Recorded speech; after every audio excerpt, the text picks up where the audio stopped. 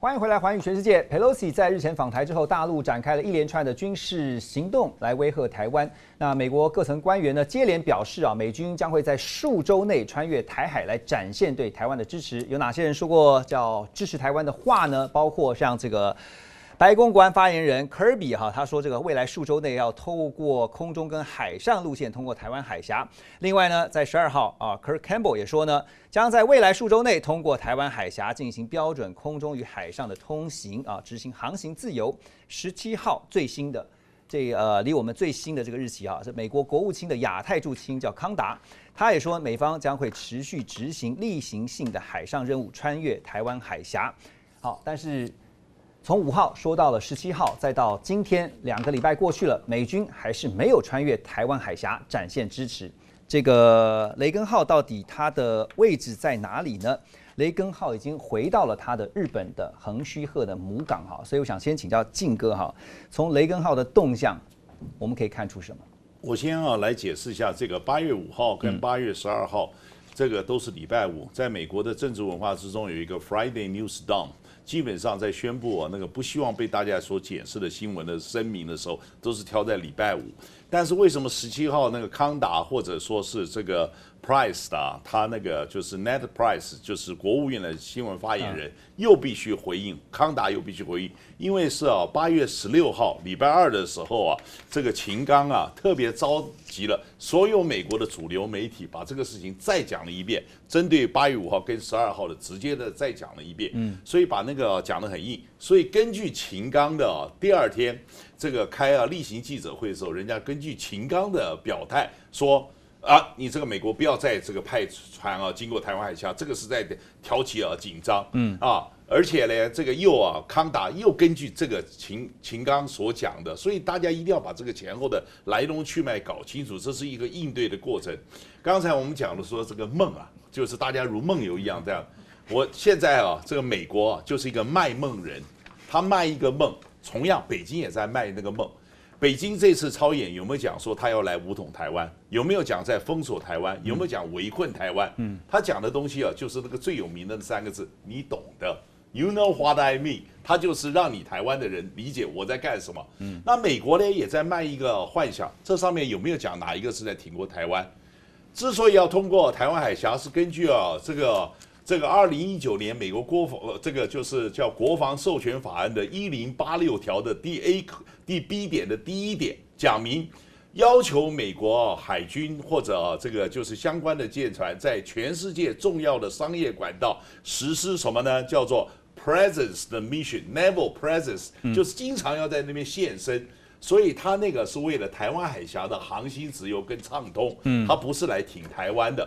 但是在政治的意涵，就是在卖一个梦，我来挺你。但是他从来有没有在上面斩钉截铁讲来挺台湾？没有嘛。好，所以他就是在让你啊，再继续做那个梦而已。我问一下四位来宾哈，四位 老师，请你们用手写板哈，就是说雷根号就这样回去台呃这个日本了。你们用一个字呃中文英文都可以啊，来形容一下这个你看到之后听到这个讯息的感觉好吗？来，我看一下刘老师是写 bye，委员写如常啊。呃，大使写真 Patsy，来先写白，明白易懂，这很正常嘛，就你你走了嘛，嗯，你走了，因为本来讲说很多人说，哎呀，他怎么走了，嗯，很难过，我想也没什么难过，因为他应该本来也不会说他会他会来，就是刚刚张晋讲来挺台湾嘛，既然不意外，那你这样走了就就走了嘛，那应该跟委员的意思一样啊，哦，他本来就不在这里啊，嗯，他本来在南海啊，然后到横须贺啊，那这些讲从来就不在台湾啊，对。所以你怎么会期待他到台湾呢？就这个逻辑就可以理解了，是吧？OK，所以如常啊，大家也平常心看待，是吗？那真，这才是美国真正的哈这个政策的内涵。嗯，就是啊，台海有危险啊，这些啊重大的兵器哈，赶快撤离。所以啊，嘴巴说的不要听，他的身体很身体是最诚实的。所以我认为他把他的真。表现出来，apathy 啊，是指冷漠的意思。冷漠的意思是说，不光是说美国的表现的态度的冷漠，而是台湾整个社会对于他没有来，也是以冷漠以对。也就是说，其实我们大家没看到台湾的社会经过这一次这样的震荡啊之后，其实民众啊跟啊就是说这个高层啊政府的高层啊。这中间的离心啊是啊非常的严重。我讲一个最简单的，我们都这个年纪稍微大了一点，经历经过啊这个退出联合国以及啊这个跟呢美国断交那个时代，那个时代你去摆一个摊位啊，要大家咬破手指去血染国旗，拿一个桶，请大家捐钱，你知道那个桶呼就满了，那个旗呼就弄完了。可能刘老师哦，这个现在应该不可能了吧？现在你今天要那边弄一个桶，你看能够收多少钱？我们的年纪都见过那个状况。现在的东西为什么这个 apathy 啊，就是冷漠，就雷根来与不来？其实台湾社会在某些程度也沉入大使刚才讲，大使啊刚才展露了睿智。真相就是如此。好，那金哥，我进一步请教你哈，因为雷根号的动向，其实这个根据中国的智库南海战略态势感知计划哈，就是 SCSPI。那在十九号就表示说呢，呃，刚刚我们讲说已经回到它的日本母港哈，横须贺母港。不过呢，这个 SCSPI 啊，就是呃感知计划，他们是分析了雷根号从七月三十号以来的路径啊，研判就发现说。这个雷根号的这个航母打击群，它的任务曾经多次变更，而且他用了一句话，他说是轨呃轨迹极其曲折复杂。这句话可以怎么解读？我必须要讲，我讲这个话实在是有不太好意思。这个因为，南海啊，这个就是像战略感知计划的主持人啊，胡胡波先生啊，跟我还认识。他用的是哦 C 五 A，也就是说这个这里头有一个 VRC 三栋的这个中队啊，专门是运补啊，就是说这个做商这个行政的专机，然后运补东西到那个航母战斗群的。可是他忘了，不光只有这个定义机，这个就是 VRC 三栋这个中队已经有四到六架的这个这个 CMV 二十二，就是那个。旋翼啊，那个旋翼机，这个会倾斜的旋翼机做运补，它是根据这个 C 五 A 的航机来画出那个，说哦这个非常的，而它不是按照这个舰船的航机，所以会显得那么诡异。那我是觉得，他经由这样来做，事实上，这个三十一号的是通过 San Bernardino 海峡进入菲律宾海，然后继续哦，保持很远的距离，继续北上。那个时候也是裴洛西来到，绕了一个大弯到台湾来落地。所以啊，不光是裴洛西绕了一个大弯。那个整个航母的战斗群绕了一个更大的弯，然后在这边根据的轨迹啊，这个整个来这个训练的很多的东西，大概啊，基本上来讲，它配的是这配合的是两个两栖待命群，就是两个 ARG 啊，就是两栖待命群的，就是以这个 USS 的 Territory 呃 Territory 跟那个 USS American 这两个。这个就是两栖待命群来做的一个综合的操演。就我们海军的专业而言，它这些整个的轨迹而言，一点都不复杂，也一点都不诡异。它就是在那边做这个训练。而且呢，根据它回去啊，这个我们可以看到航舰啊，这个第五啊，这个连队啊，也顺利的回到了，就是在回去了进入横须贺之前，全部都起飞反降到燕国的这个这个飞飞行基地去了。那旋翼机呢？这个第十五驱逐这个支战队啊，它的这个平位的兵力也旋翼机，所以换言之，那个是确实是说，这整个操演的这段时间，就是将整个的这个力量用的精疲力尽，然后回去要整补。所以在这个状况之下，我是觉得大家拿正常的心，就是这个东西跟台湾没有接轨，他在那边继续做。嗯，所以呢，我讲了一个冷漠。就是到现在为止，也没有人真正去细究他到那边为什么不来台湾。实际上来不来，一切也其实都已经不是重点。美国已经把态度、政策态度讲的摊摊牌了，摊的再明白不过了。美美军现在还有一个问题啊，我要继续请教委员，是说它有一个潜在的工军工业的基础，现在变成是说美军在面对解放军的一个隐忧哈。因为川普时代的副助理国防部长叫做科伯吉，跟这个白宫国安会的前幕僚长葛雷。那么在十八号呢，他们就投书《华尔街日报》，指出呢，美国国防工业的产能不足啊。那川普政府曾经在二零一八年盘点了整个美国的国防工业，在其中的十个风险模式当中，发现有将近三百个重大差距。比如说呢，呃，过度依赖外国供应商，还有像是国内制造业衰退，国会提供的资金不足，他国国防。企业这个产业成长等等哈，那目前呢，太平洋舰队的作战区域啊，只剩下两家海军造船厂，还有不到二十个可以检查或者是修理船只的船坞，所以认为呢，现状极其危险。好，那面对这个国防上现在发现这么多的风险哈，那问题就是美军有可能在短时间内就修补 fix，然后能够补足他现在的这个作战上的一些短失吗？无解，嗯，不，因为造船工业是传统工业啊，那那个那个航空业那算高科技。你看美国战斗机就没有这个问题啊，嗯，为什么会这样？因为美国的造船业几乎都外移了嘛。你如果没有民间的造船业来支撑啊，你不可能有很多的船厂可以来做作战舰嘛，嗯，还有甚至你有很多零组件，甚至是要跟国外买，你连供应链都不是完整的，嗯啊。我我举个例子哦，我我昨天就找到一个数字啊。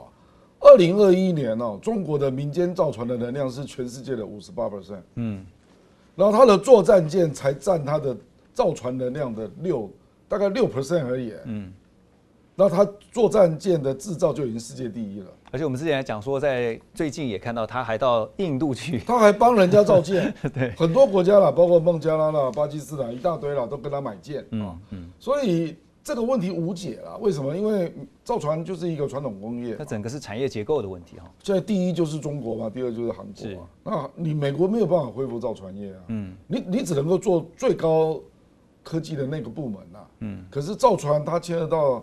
上万个零件的整，所以在海军的优势上面的话，现在显然看出来是他没有办法在短时间。也许少数，比如说核潜艇那一种，可能它可以全部自制了。嗯，它其实有三个案子挫败啊，海狼级这个滨海战斗舰跟那个梦幻型的那个朱瓦特，三个都是惨败收场啊。所以它的造船现在已经，它福特航母也在航出了很多问题。对，所以就是说这个东西是现实的，那个整个网络啊，工业网络，那个陈如刚才委员讲的那个完全要短期之内是补不回来的啦。对啊，哦，不是不是短期内 根本补不回来，根本补不回来，因为这个是产业结构的问题，是结构性的问题，所以其实真的很难解，整个被掏空了。那解放军方面，这个就好比你说美国要不要做口罩意思一样嘛。嗯，比如说疫情，他说现在要管制。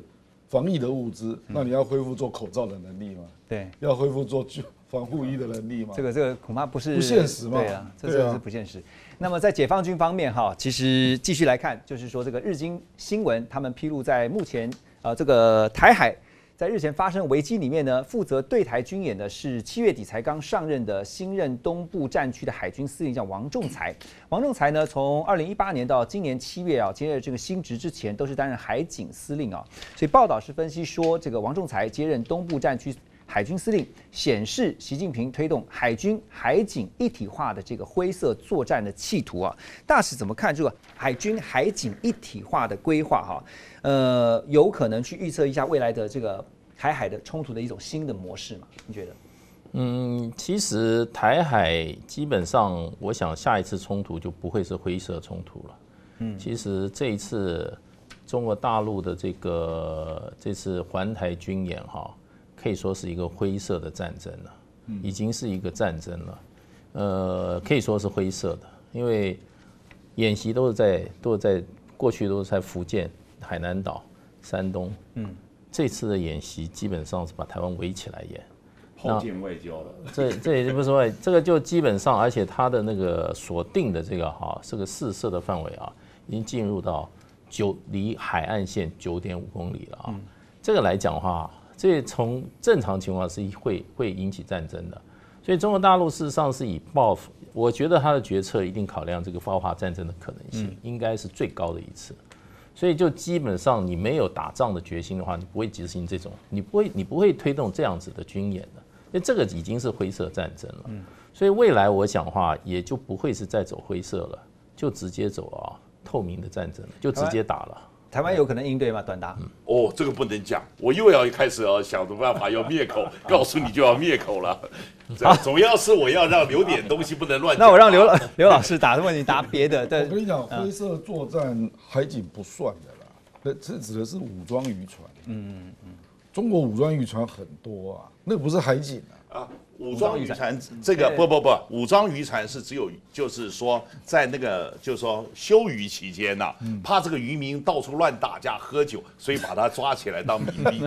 这个不是正常的，就是永远经常性的武。我来问一下刘教授，另外一个问题，就是因为我们要观察呃，在台湾啊附近啊临近台湾的菲律宾哈，他们最近的态度啦，因为菲律宾。在小马可是上任之后呢，最近就同时在中美之间，你看到他释放出两种截然不同的信号哈。这个小马可是在接见中国驻菲大使这个黄希莲的时候呢，他说期待进一步强化中菲关系，然后造福两国人民。不过菲律宾驻美大使罗姆德斯却表示说，美国如果卷入台海争端，菲律宾不一定会参与。可是如果升级成大规模战争啊，是 major war 的话呢，我们将会与美国同盟。现在两面讨好的立场，那重点是中美会各自会如何解读呢？不，这这当然晓得，菲律宾它的地理位置特殊嘛，嗯，它本身就是就它的地理位置让它可以在中美之间摆荡啊，所以你可以看到它的这个政，他讲的其实就这件事情来讲，他讲的是对的。你说呃，如果中国大陆如果是小型的冲突，菲律宾希望劝和嘛，不要被卷进去。如果真的变成大型的战争的话，它和美国有共同防御条约啊，它有条约的义务，它有它的防区嘛，它当然是帮美国嘛哈。但是如果你放大来讲，看菲律宾的外交政策，那一些菲律宾学者就讲到，菲律宾的外交政策其实是个钟摆，知道吧？钟摆就是说这一任总统如果亲中，可能下一任总统就亲美，然后就亲中，呃，太亲中了，下一任亲美，这样的摆。那如果我们解读是杜特地他如果比较亲中的话，那小马可斯可能就亲美了，而且他过去他们家马可斯家族在夏威夷的时候跟美国的政治关系也不错嘛。可是杜特地他也不是完全亲中啊，他本来反美一下，后来又又变，因为中国大陆威胁多了以后，那么中国杜特地有点摆向美国。那小马可是呢？那照理说这样应该是亲美国，可是他又有点摆向中国，所以这个中摆的就不是那么样的绝对了，不那么绝对。那在他们当然是以他们的国家的这个利益来讲啊，所以我觉得如果从菲律宾的利益、以小马克思的立场来讲，他的讲法我觉得很正常，一个总统。一个大使，或者说以前杜特地时候，一个总统，一个国防部长，一个黑，一个白，一个亲中，一个亲美，中美也很清楚，他他在 play 这个 game 嘛，中美当然都非常清楚，但是谁也不愿意失去菲律宾嘛，所以都想要拉住菲律宾，这就是菲律宾的筹码了。了解，好，谢谢刘老师，我们休息一下，马上回来。